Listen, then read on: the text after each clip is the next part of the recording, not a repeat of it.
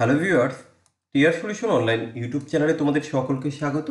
তো ফ্রেন্ডস এখন আমি আলোচনা করব জেনারেল নলেজের প্র্যাকটিস সেট নাম্বার ফাইভ নিয়ে।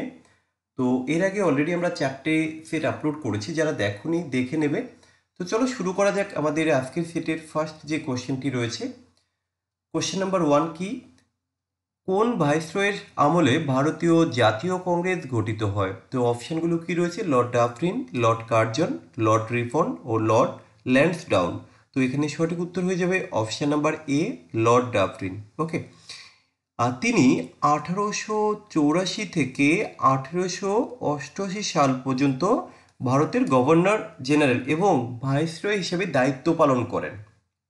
চলো, পরবর্তী কোশ্চেন উনিশশো চব্বিশ সালে মহাত্মা গান্ধী ড্যাশে জাতীয়, ভারতীয় জাতীয় কংগ্রেসের সভাপতি হিসেবে নির্বাচিত হন। আসলে উনিশশো চব্বিশ সালে তিনি কোথায়? জাতীয় কংগ্রেসের সভাপতি হিসেবে নির্বাচিত হন।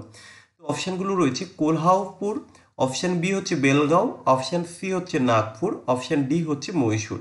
তো এখানে সঠিক উত্তর হয়ে যাবে অপশান বি বেলগাঁওতে। এটি ছিল ভারতীয় জাতীয় কংগ্রেসের উনচল্লিশতম অধিবেশন।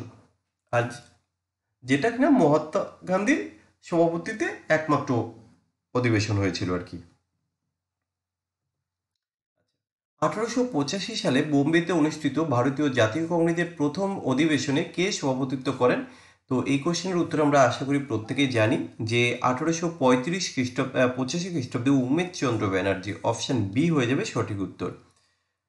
পরের কোশ্চেন ইন্দো গ্রিকদের অধ্যয়নের জন্য সবচেয়ে গুরুত্বপূর্ণ প্রাথমিক উৎস কোনটি? অপশান এ স্মৃতিস্তম্ভ শিলালিপি, মুদ্রা ও সাহিত্য পাঠ। তো এখানে সঠিক উত্তর হয়ে যাবে অপশান সি প্রায় পঁচিশ বছর ধরে ইন্ডো গ্রিক রাজ্যগুলো ইউথাইডেমিক শাসনের অধীনে ছিল। এই রাজাদের অনেক মুদ্রা পাওয়া গেছে এবং আমরা তাদের সম্পর্কে যে তথ্য পাই তার বেশিরভাগই এই মুদ্রা থেকেই আমরা জানতে পারি। তো এখানে অপশান সি হয়ে যাবে সঠিক উত্তর। অশোকের শিলালিপি প্রধানত কোন ভাষায় লেখা হয়েছিল? তো অশোকের শিলালিপি সাধারণত লেখা হয়েছিল প্রাকৃত ভাষায়। অপশান সি হয়ে যাবে সঠিক উত্তর। পরের কোশ্চেন ভারতীয় জাতীয় কংগ্রেস উনিশশো সাঁইত্রিশ সালের প্রাদেশিক নির্বাচনের পর কোথায় সরকার গঠন করেনি?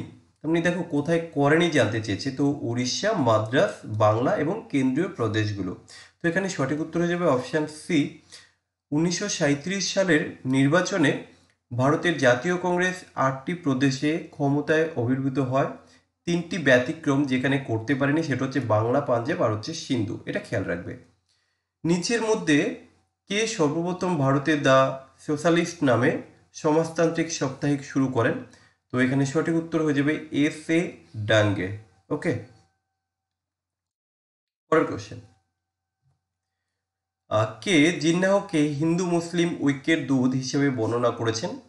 তো option A Mahatma Gandhi option B Sarojini Naidu option C Jawaharlal Nehru option D Tej Bahadur ছাত্র তো এখানে সঠিক উত্তর হয়ে যাবে অপশান বি সরোজিনী নাইডু।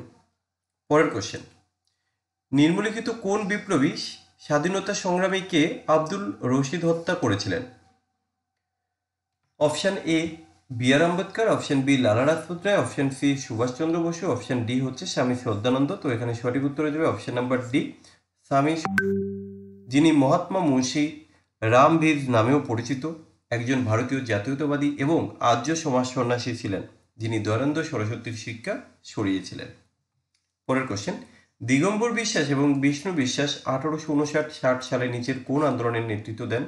তো আমরা জানি, নীল বিদ্রোহের নেতৃত্ব দিয়েছিলেন দিগম্বর বিশ্বাস এবং বিষ্ণু বিশ্বাস। কত সালে? না, আঠারোশো উনষাট থেকে আঠারোশো ষাট সাল।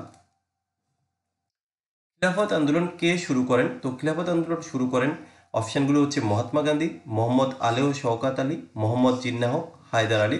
সঠিক উত্তর হয়ে যাবে অপশান বি, মোহাম্মদ আলী ও Shaukat Ali.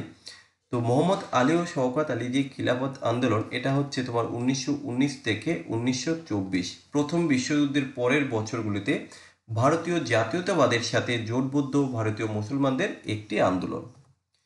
Asiatic society of বেঙ্গলের প্রতিষ্ঠাতাকে তো এশিয়াটিক সোসাইটি হলো sir William Jones option D হয়ে যাবে সঠিক উত্তর।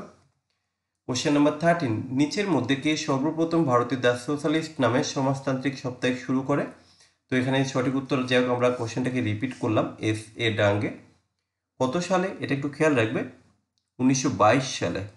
ওকে পরের কোশ্চেন ঈশ্বরচন্দ্র বিদ্যাসাগর এবং অবনীন্দ্রনাথ ঠাকুর কালিদাসের নির্মলিখিত কোন রচনাটিতে, রচনাটিকে বাংলায় অনুবাদ করেন? তো এখানে সঠিক উত্তর হয়ে যাবে option number D Abhijnana Shakuntalam.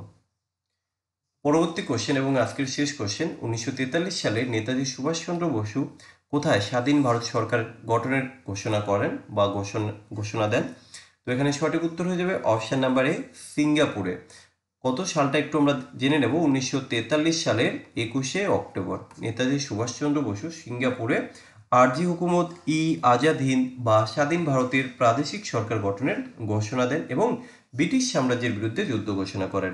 তো এই ছিল আমাদের আজকের সেটের মোস্ট ইম্পর্টেন্ট পনেরোটি কোশ্চেন আমরা পরের সেটে আরও কিছু কোশ্চেন নিয়ে আসব তোমাদের জন্য। তো যারা ভিডিওটি শেষ অবধি দেখেছ, তাদের অসংখ্য ধন্যবাদ এবং ভিডিওটি তোমরা শেয়ার করে দেবে যদি ভালো লাগে। চলো।